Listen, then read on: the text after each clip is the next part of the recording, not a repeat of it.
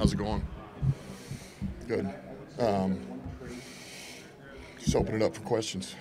Some, some coaches don't do this event. I mean, you always have. Just what's the value of being? What you get out of this? Why do you why do you love being here? Um, you know, like for me, it's the uh, um, really the interview process to to get with these guys is what I really look forward to.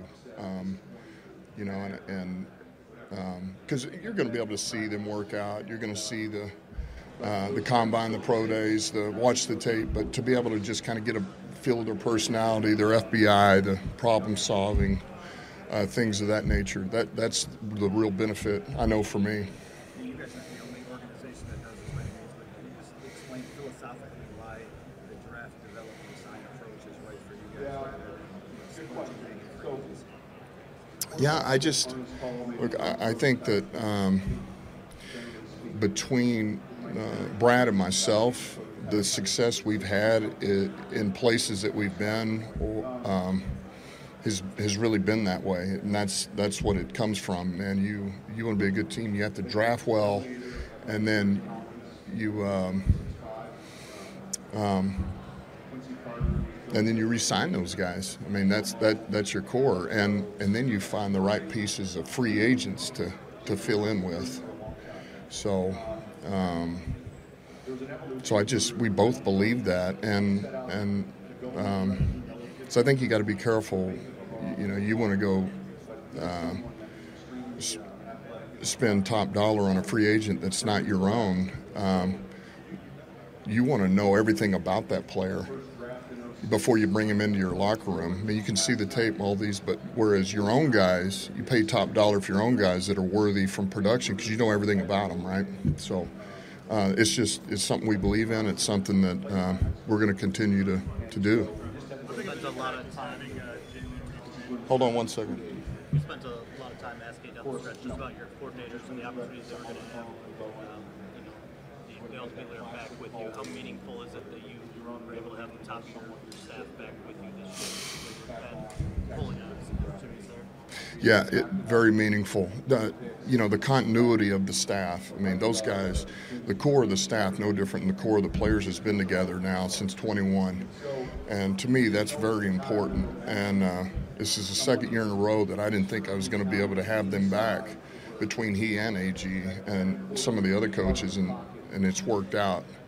So um, we're, we're fortunate. And, uh, and I just think you're so much further along, you know, with what you do, and you've evolved so much over a three-year period when you're all together. Like, for example, Ben knows exactly what I'm thinking. You know, we're to the point now where he knows exactly what I want, how I think, just like I know how he thinks. Um, and AG and Fipp, and so there's so many things that you just you can skip over these steps that have already been done through a three-year period, and you're just so much more efficient, so much better.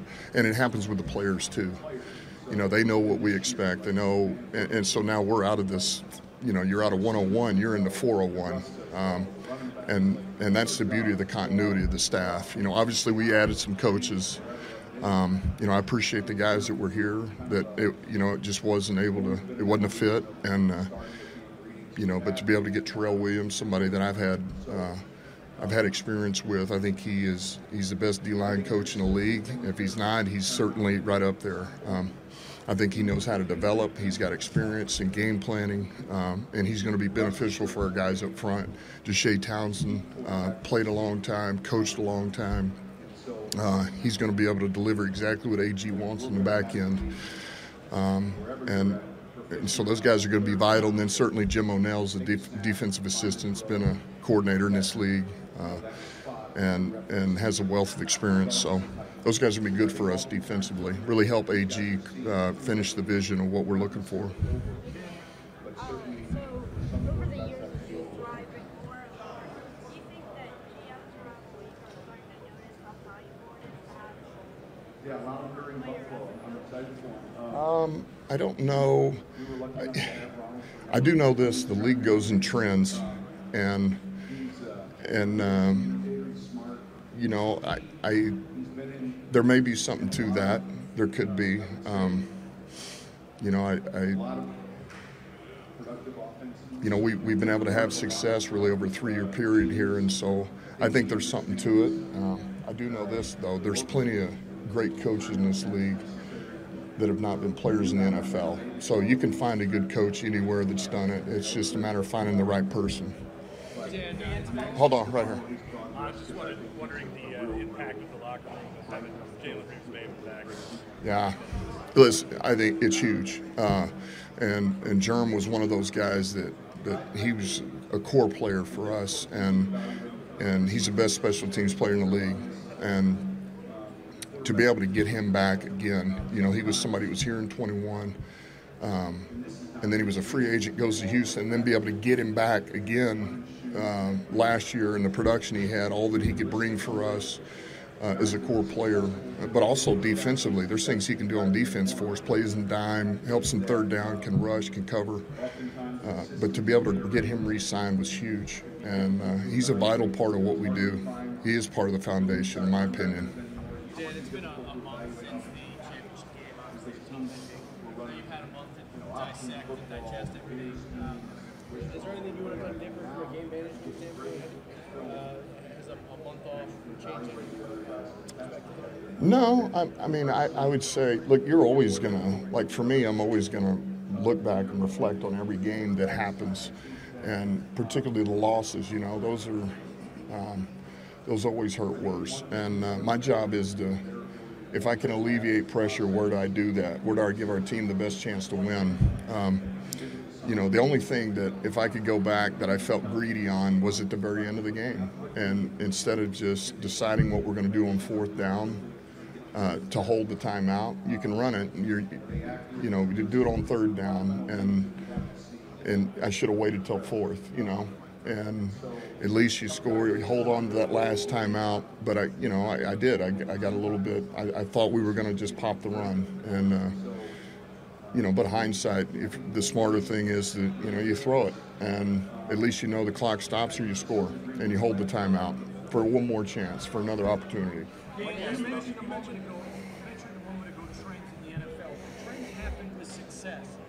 Your success opened the door for Antonio Pierce with the Raiders. A lot of people reference what you did. Can you talk about your impact when you see people like Antonio getting jobs? It's a lot of related to your success, sir. Well, look, I would say that Antonio did a good job over there. I mean, so that that that speaks for him. Um, you know, it's not an easy situation. I've been in that as an interim, and to take over and you know you're trying to do it your way, but you're trying to keep it afloat. So, um, but I thought he did a tremendous job. He earned that. He earned another opportunity. So, you know, I, I'm sure I am. I am part of that as far as not that, but just the hey, maybe there is a thing with the ex players, but but I think those guys have done a good job. DeMeco's done a good job. He's earned that. So um, I just bring it up again. You can find good coaches that are ex players and coaches who've never played the game at, at the NFL level. You can. So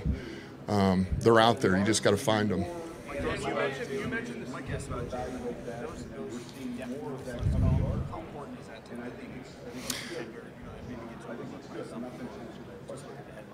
Yeah, I think it's huge because yeah, he is a depth player, but he's he's a starter for one of our core teams. I mean, he's you know we play with three phases, and so he's he's the best player in the league, and and one of the three. Um, you know, units that we use to win games. Uh, we don't just play with two units, so it was pivotal. And and obviously the depth that he provides is is big. And because to me, he's and to us, you know if you need him, he can go out there and you're really not going to miss a beat. He's smart, he's physical, he's tough, he's crafty, he's a ball guy. So, um,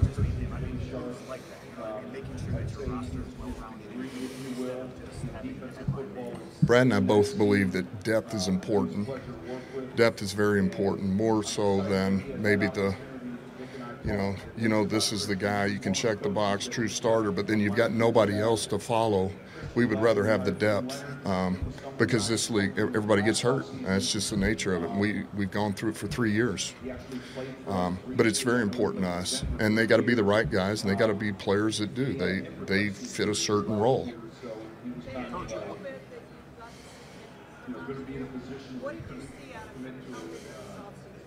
Yeah, look, uh, it's been a long time. How you doing? Good. Um, man, it. I would say it's hard because you know he was coming off the injury. He didn't get to play, um, but he got a ton of by the end of the year. Call it. Uh, you know, probably four months, not four months, three months, somewhere there of practice time, and did a lot of the scout team, learned from Teddy Bridgewater, Jared Goff, um, and and so seven on seven, a few team reps, you know, good on good, and and the best I can tell you is there's growth. We saw growth, and that's encouraging. That's all we can ask at this point. So I don't think we entirely know what he is yet. There's not enough evidence, but I know this. We saw progress, and that's that's what we're looking for. Come to you.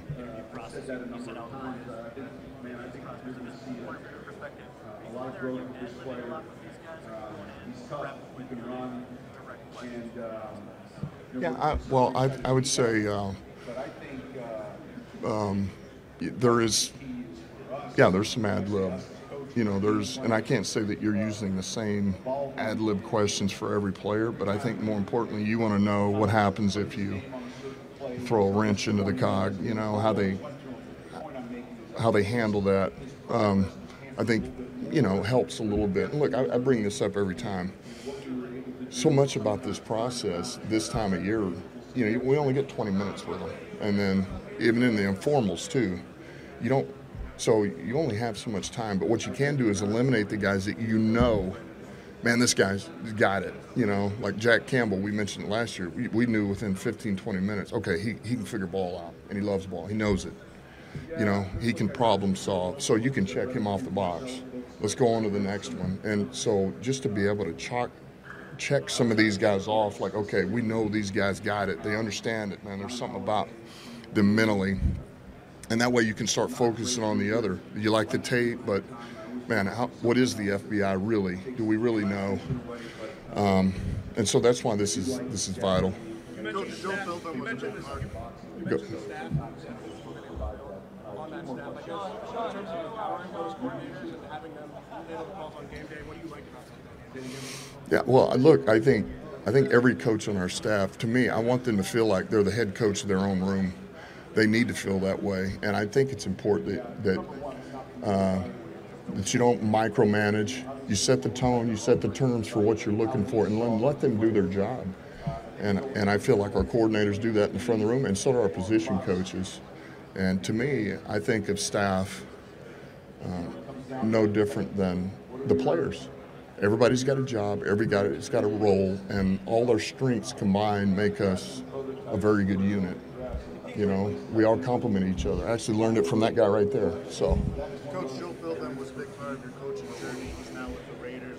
What can Raiders fans expect to get Joe? I'm sorry, say again. Joe Philbin was Oh yeah, yeah. yeah. Uh, well, I can tell you this: Joe is as detailed as they come. He's uh, very methodical. He's very detailed. Uh, there's nothing that's going to get overlooked, and he's going to make sure that um, that everybody around him, uh, the coaches to the players, thinks that way. Like there, there is nothing that he is not going to see, um, and because that's big to him. Details mean everything for him. So, um, and he's he's a grinder. I mean, Coach Philbin's a grinder. So, um, you're going to get a guy who understands ball, he grinds, and he is very, very detail oriented.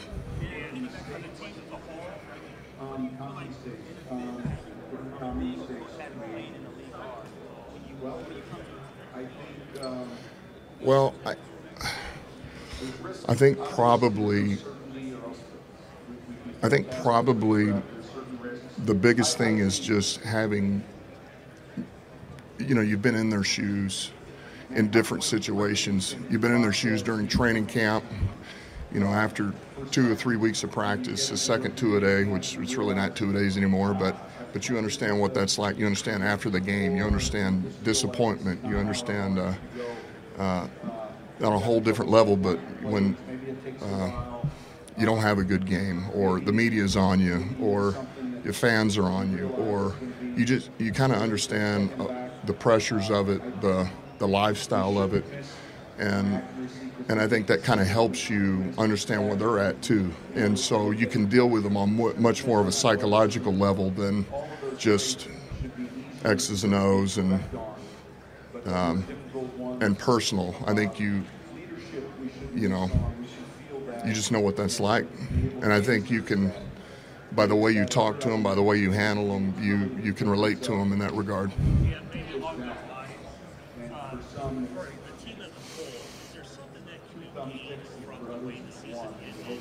Whether it's motivation, whatever, or is it for this team? No, I, I think that um, absolutely. I think we can benefit from it. Like to me, you should benefit from every loss. You know, I, I think that if if the losses are they don't motivate you to not lose again, and and for sure lose to not lose an NFC Championship game, then something's wrong. Um, like to me, that's that's the ultimate. I mean, you, you just don't want to have that feeling anymore. Like you should do whatever it takes not to not to want to feel that. So you absolutely would benefit from that.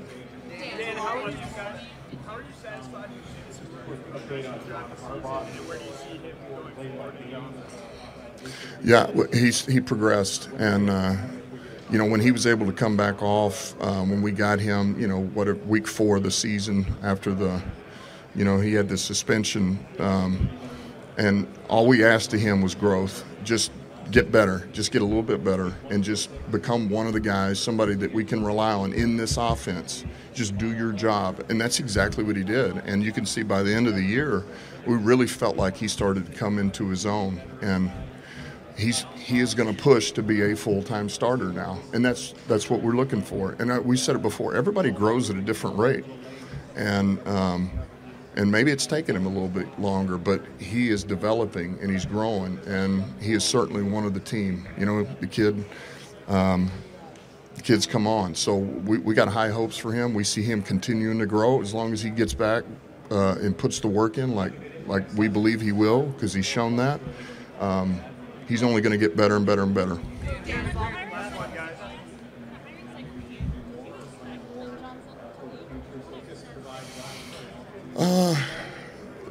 I, I really didn't know. You know, I, here's what I know about Ben. Like Ben's not. Um, when when Ben is focused on on this, he's focused on this, and nothing's going to move that for him. And so once, you know, once this item is done, he can close it. Then he'll move on to the next one. So. Um, you know, I, I don't know the whole interview process, all those, but I know this. His, his whole focus was on helping us win, and it wasn't about preparing for interviews. Um, and so I guess you, you just never know how they're going to play out. Um, you know, I, I know this. He's he's more than capable of being a head coach. He's qualified. Um, by the way, people have hired in this league before. He's more than qualified. And but I, here's what I love about Ben. Ben's not going to do anything that he doesn't want to do, that he really wants to do, or that he doesn't feel like he's ready for. So I'm glad we got him back. He's one of us. Dan, there's a lot of people that are not going to say he can't go Can you talk about him as a leader and how he progressed this season and even how he responded to that loss in the playoffs? Yeah, yeah. I, I don't look, and I get it because it hasn't happened yet. I mean, just people saying that, but but I don't get it because, um, I mean, take the NFC Championship game. I thought he played good game for us. Uh, you know, he gave us a chance to win that, and and I just feel like, man, since he's been here, I've seen a I've seen a quarterback who's gotten better and better and better and has grown every year and I would say who's gotten better under pressure every year and really just rise to the challenge. Um, and he's more and more confident he's more comfortable. Um, so I've said this before to me Jared Goff is a winning quarterback. You can win. You can win in this league with that guy and uh, you can't say that for a lot of guys. So I'm glad that he's here. I'm glad he's he's ours, and uh, and you could argue he's grown more than a lot of players we've had. People don't maybe don't always see that, but he really has, man. For a guy who's been in this league a little bit but has continued to improve, uh, it's credit to him. All right, thanks.